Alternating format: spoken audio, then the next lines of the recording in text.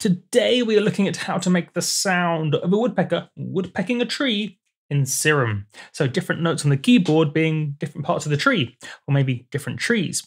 For example,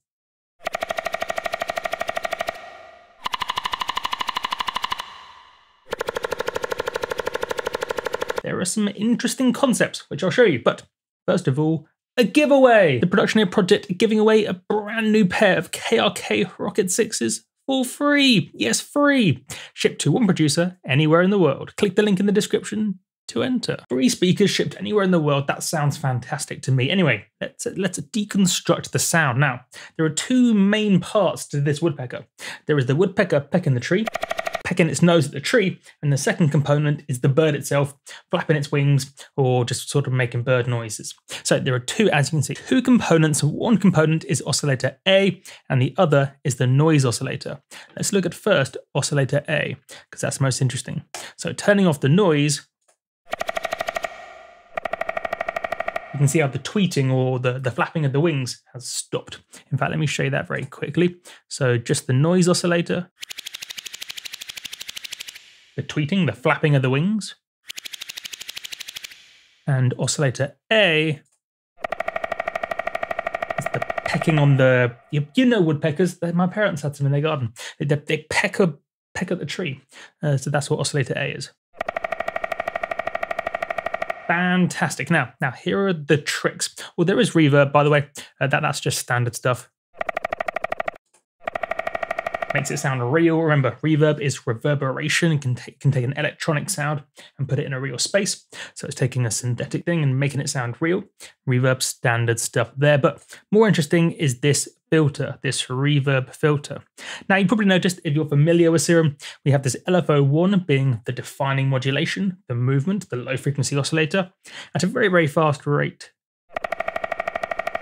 Very, very fast. I've actually assigned it to a macro. So it's faster than 10 times per second is very, very fast. That, that's all you need to know there. The LFO1, though, importantly, is not just modulating this wavetable position, moving it through the wavetable, but it's more importantly, it's modulating this filter, this special filter called the reverb filter. Now, it's not actually reverb, but it's a filter inspired by reverb, basically. And it's one of the most powerful things about Serum. So notice how much of a difference this reverb filter makes. See, it, before the filter, it's just pretty stupid. So that's not very exciting by itself. What we want to, to make it peck, to make it peck, we need to use this reverb filter. So reverb filter, just see it down here, reverb, and see, peck. Boring, but with reverb, but with the reverb filter, turns it into this plucky thing. It's it's oh, I, I, think it's really cool. Anyway, important to note here is that we are modulating this filter. Remember, that's one of the key things about synthesis. It's not just about the rewind, spin back, spin back. Okay, so the key things in synthesis are modulation, so changing something, and then there are normally three main things to play with. So wavetable position, in the case of a wavetable synth like this, filter cutoff, uh, got my fingers muddled up, wavetable position, filter cutoff, pitch, and amplitude. I use these fingers. That's what she said. They're the most important four things to play with. That's where the heart of any sound comes from in synthesis. And so one of these, we're doing one of them, wave wavetable position, but we are also doing the other, modulating the cutoff of a filter. Now, normally it'd be a something like a low pass filter, something looking more more like a low pass, sounds sounds okay, but it's not. It hasn't got that edge to it. So mean, that's what you would normally do: just filter cut off with the, the low pass filter. But we're doing something more exciting. So we're using the reverb filter. Oh, much nicer. You can see it's it's mad. It's, it's a crazy filter. Yeah, oh, it's, it's, it's a mad filter. It's crazy. but It's interesting. So you get the interest by moving it. It's not just stationary.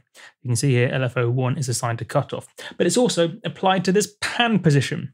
What this pan does is it's more technically called stereo filter offset. So it splits the left side to the right side and applies a different cutoff value to the left to the right, creating stereo width. So it's like basically having one reverb filter on the left side and a different reverb, or the same reverb. It's basically having a different cutoff position on the left to the right. And this pan controls the offset, so the difference between the left and the right.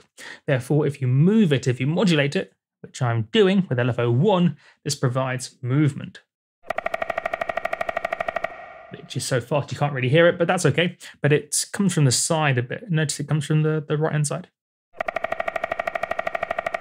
So it comes from over here, subtly moving, but it's more just somewhere else in the stereo image. Whereas if we didn't have any of this, so bypass that, reset control, it's coming at you from the center. As if we don't use this pan, it's the same cutoff on the left to the right, and therefore it sounds central.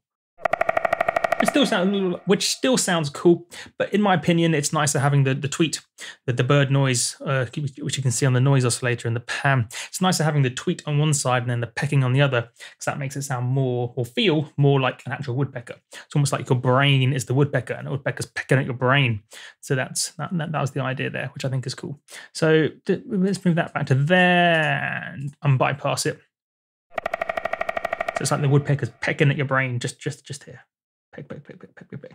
That, that's what's going on there. Okay, fantastic. Oh, and LFO1 has a bit of a shape to it, but that's all standard stuff. I'm, oh yeah, I should have I should have said this at the beginning. I'm assuming some familiarity with Serum, although you can kind of pick it up.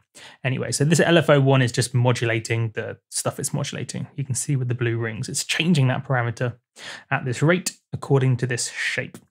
You've probably seen that before, I'm guessing. Cool. So next is the noise oscillator. I think that's interesting, interesting, interesting stuff. Oh, and what I did as well, side note, before we go on to the actual bird flapping its wings or, or making a tweet noise, I actually assigned, you can see, oh, ah, clicked in the wrong place, peck. So I assigned a macro to the level of this oscillator A, so the amount of pecking. So I could, I could change it relative to the amount of tweeting, just using these macro controls. Basically, controls allowing you to change the parameters of the preset without you having to understand what's happening. You could just load up this preset from a sample pack I made.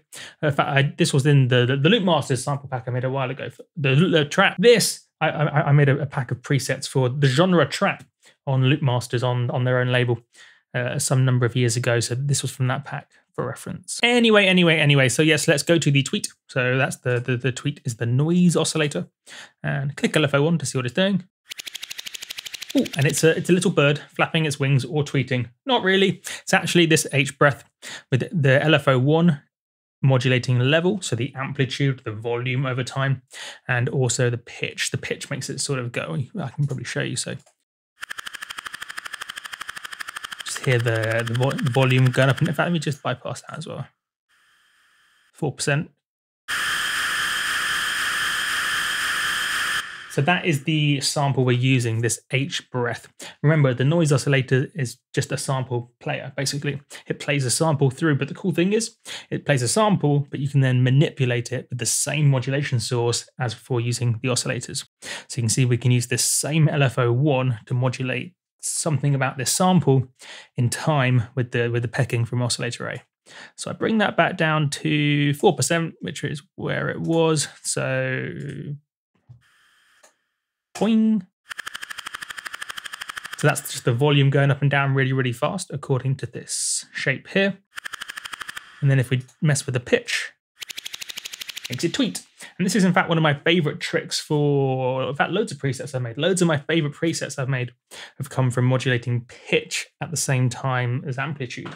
So I bumped into the chair. So for example, alien chicken noise, which is uh, one, of one of my classic presets I made, again for Loopmasters, but for the synth massive. Uh, alien chicken noise, you can see here I'm using this crazy shape, oh, using editing and stuff, using this crazy shape to modulate both pitch and amplitude at the same time. It's one of my favorite tricks. It's a cool concept. Um, so yes, that's what I'm doing here. And you can see you change the sound, you change the bird. Different bird, smaller bird. That's bigger bird. Uh, back to the one with the smaller bird again. So I mean, you can change the bird. Um, you can just choose the bird, choosing different samples. It's not really a bird, but it sounds like a bird. That's that's the idea here. Fantastic. And any other points of interest? Notes. Um, uh, bind woodpecker. I wrote a little note because if you press the wrong note on the keyboard, so if I go too high, that doesn't sound like a woodpecker at all. Whereas if, if I go too low, that's not. It's closer to a woodpecker, but not quite. You can see that's definitely not a woodpecker. So have to find the right octave. This is in fact a common theme amongst most presets. Most presets only really work and sound good within one octave range, possibly two, but normally just one. So if you're trying presets or even just if you're working on one yourself and you or you're working on it, make sure you try a range of octaves from low to high, you know, using a, keyboard or Ableton Push or something. Just try them all because oftentimes the best sound in the world in one octave sounds completely unusable elsewhere. So that's why I wrote Find Woodpecker. Uh, I, I, wrote that in the wrong box as well. That's actually the author box. This is before I, I, I, knew there were two boxes. This was back in the day before I knew there were two boxes. So if, if I show you, for example, Little Gremlin. Um, oh no, that's awful. No, let's change that. Um, oh, most evil Megadeth. There you go. Classic multiplier. Uh, then I, you, can write notes in the box there, whereas the author name goes on the right. Go nuts with the macros. Z. If you, if you put Z instead of S, that's also a way to uh, be cool. Um, uh, uh, polyphony is super nice. Uh, super using uh, la- lazy lazy choice of adjectives. Choose better adjectives. Not in tune. Play with the note graph. Now we're just reading descriptions for different presets. Bass notes. Play them and be scared. So you can write little notes to yourself. Um, so you can either use them for logic. So you can see in some of them, uh, I wrote like polyphony is nice. So by layering overlapping notes, you can get some cool results. Almost like tips for how to best use the preset. You could you could write that, or you could just uh, well, I suppose that's a useful tip. Bass notes um, to play the bass notes, not the top ones. Um, and but then you can just use the rest for fun. Play them and be scared. I'm very scared. Um, detune is the most useful macro, and that is a useful comment. So, um, how are we doing for time? Good. And that that there we have it. That bap, bap, bap, words are difficult. There we have it, everybody. The sound of a woodpecker. So, how to make it the sound of the woodpecker in Serum, along with some useful knowledge at the same time. So, you learned some cool concepts about how you can. Oh, I forgot to show you something. There was me thinking, oh, I've I've shown you everything, and I, I forgot to. So, do you remember how with the with the pecking bit? It sounded like it's coming. I bumped into the headphone there. That's weird. Sounded like it was pecking you more on the right side. But you can even see it on the level meter down here. It's pecking you more from the right. Therefore, oh, I pressed it by accident. Okay. Therefore, on the noise oscillator, I panned it left. You can see the pan panned left. So it's like it's flapping over here, but it's pecking you here. In fact, it should be. Yeah, it's confusing. Anyway, but yes, panned in different positions to create more of that stereo imaging illusion uh, vibes. My name is Multiplier, and I will catch all the giveaway. So yes, an, an, additional note about the giveaway. Free if you if you like the idea of free KRK KRK Rocket Sixes and, and shipped anywhere for free, shipped anywhere in the world. If you like the idea of that, enter in the link below in the description bit. There'll be a link to the. Just click it and then go type in type your name and stuff and then you might win. Brilliant. Fantastic. My name is Multiplier. I will catch you guys on the flippity flip.